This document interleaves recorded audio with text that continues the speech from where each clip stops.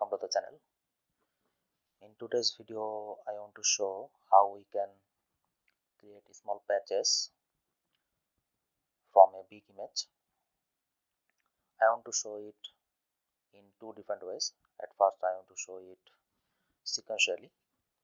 Then in the second step I want to show how we can create patches from a big image randomly as well so I have already given a heading. So create patches from big image sequentially. So let's see how we can do that. So as usual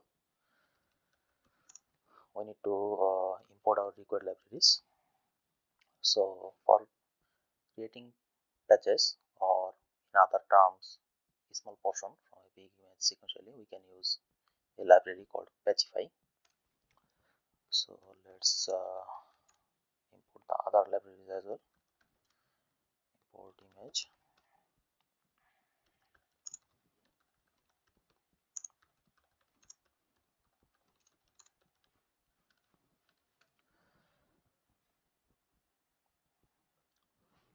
And uh, we need numpy as well. So these are our required libraries. So now I will open an image that I have uploaded in my current working directory of the Jupyter notebook. So I have a squid image. Let's visualize it. So this is the squid image that I have. Okay I want to let's check the size. So this is uh, 4020 to 50 I think width and height. You can also I think yes so this is this notation is width then height. Okay so and this is a color channel. We can see from it that it's a color channel. We can also check it uh, using this command. So RGB so let's uh, resize it for better understanding so dot resize. Let's resize it to 800 and 400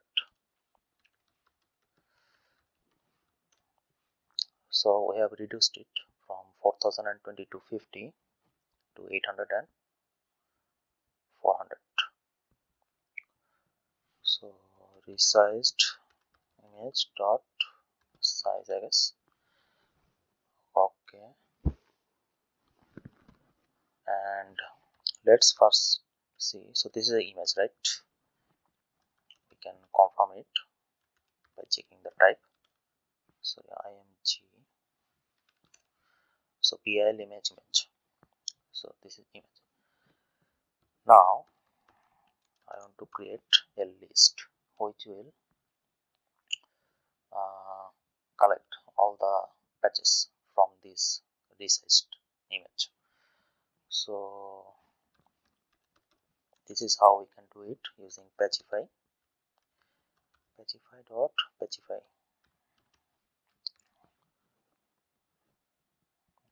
and uh, we have to convert this image into array for extracting patches.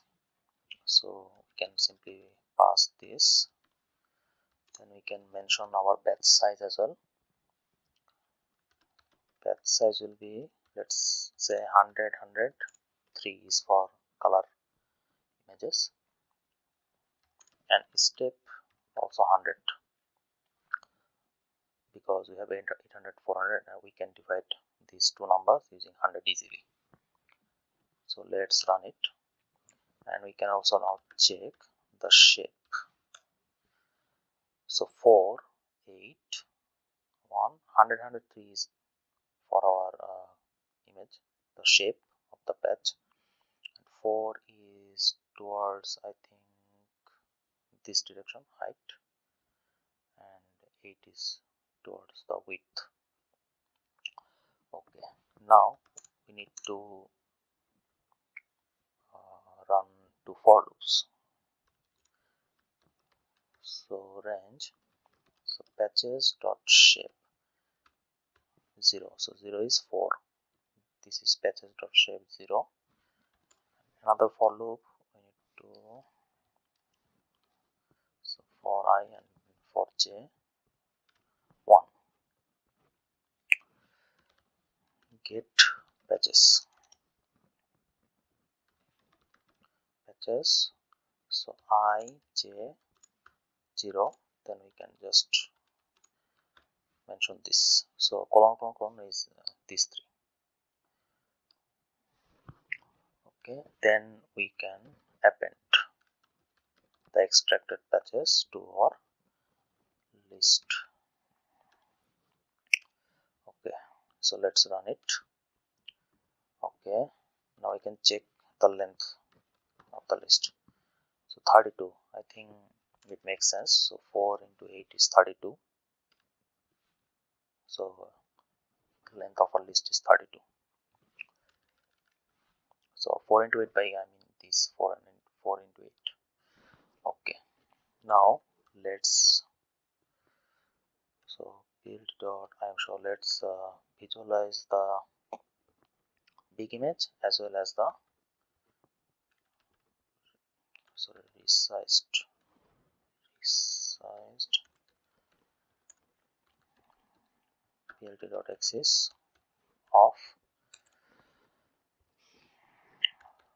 fig on axis 1 on because later we'll also create patches randomly. So for sequentially I want to use 1 plt subplots we can mention the rows. So 4 let's keep it 4 8 as usual. 8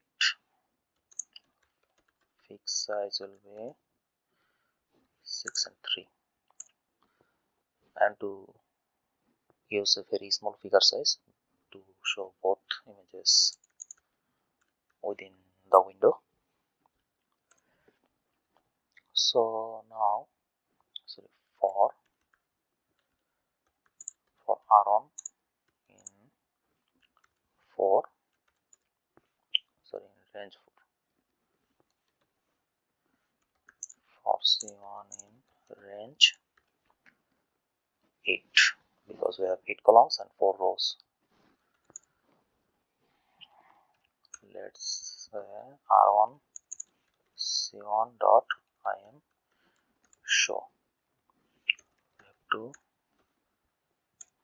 pass the each element of our list which uh, contains the patches and uh, axis. Axis will be off. So then we have to increment by one. So I think it's okay. Let's run it. Now closely look at uh, the there are 32 in the patchified section. So this is our original uh, sorry not original research image 800 by 400 yes 800 by 400 then we have created uh, patches of size 100 by 100 and 3 is for RGB channels. And if you look at these two if you compare the patches with the resized image you can see this is exactly the same image as this one but patchified and uh, yes. Same as uh, patchified version so this is how we can uh, create patches from a big image sequentially. Now another way is to do it randomly. So let's paste it here. Let's change blue image. Now instead of sequentially now I want to do it randomly okay so let's create a list as usual. And we have to convert the image uh, to numpy array at first. So resized img. Now, let's check the shape so the shape is 400 803 now in case of random patches let's say uh, so in case of random created patches it depends on us how, ma how many patches we want to create. So for giving similarity with this one let's just say 32 again. Sorry for k in and since we want to create randomly you have to generate two random integers. So uh, we can do it like this. Sorry this is rand int. Image to array. Shape 0 so shape 0 is obviously this one. And we have to subtract 100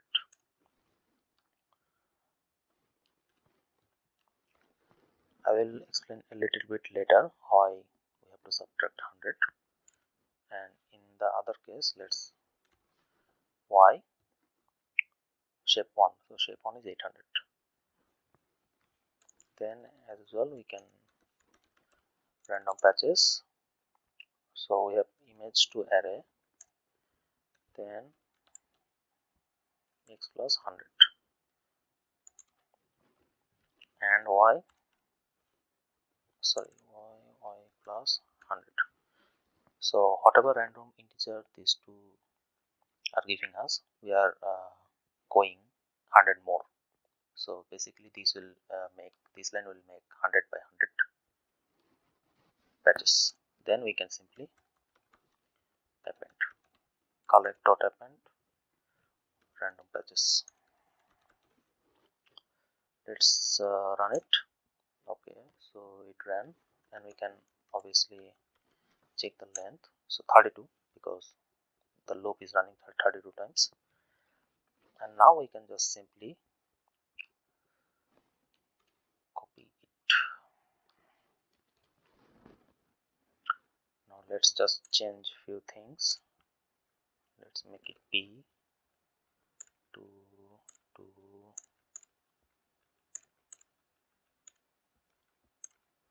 and this will be b. B. Now let's run it. Okay. Sorry. Mistake. This will be collect. Yes. Okay. Now see this again. Resized image patchified resized image. Same image because the patches have been extracted uh, sequentially of 100 by 100 pixels. Now look at this one. You can see randomly different portion have been patchified of this resized image. And in case of random patches actually there will be a lot of overlaps because uh, of this randomly generated integer. So let's now uh, show how you have to subtract 100 so it is giving us 116 now 29 if I run it again 147 so the difference between 147 and 116 is less than 100 is 31 so if we do not uh, subtract 100 then in case the integer is almost close to let's say either 400 or 800 let's say 397 or 698 uh, sorry 798 then we cannot actually go 100 pixels further from that position. That's why I have uh, subtracted 100 because I want to make, make 100 by 100 pixels. If you want to write functional code you can save this into a variable uh, I didn't do that for professional code you can do that